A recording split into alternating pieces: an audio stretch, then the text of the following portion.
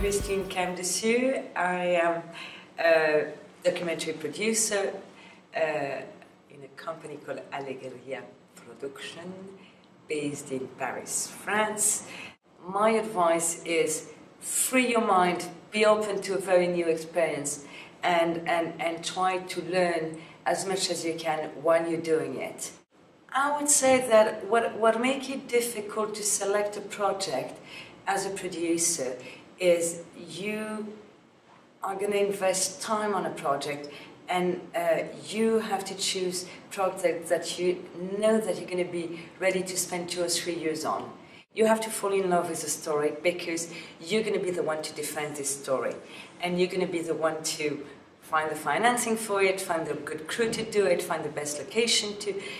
I mean, you're going to invest a lot of your time, if not your money.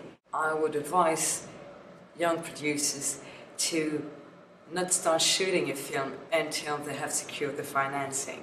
This is a former banker talking here, but this is also out of experience. Um, it is not easy to finance a project. However, you, as a producer, you're the one to define the market of your film and you're the one to define the level of your budget based on the finance you've been successful to raise. The trust is needed because uh, both from your finances and your crew, you have, they have to trust that the ambition you have presented of this project is going to be found and in the finished product, in what you deliver.